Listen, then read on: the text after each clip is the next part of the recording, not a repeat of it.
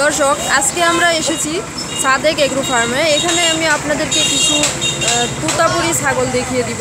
সেটা হচ্ছে যে, এই যে এটা তুতাপুরি ছাগল, এর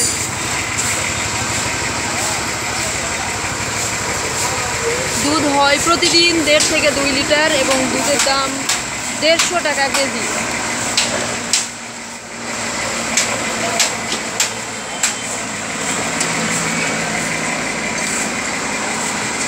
এই ছাগলটা বাজারে বিক্রি বিক্রি করলে এখন এর দাম হবে ষাট থেকে সত্তর হাজার।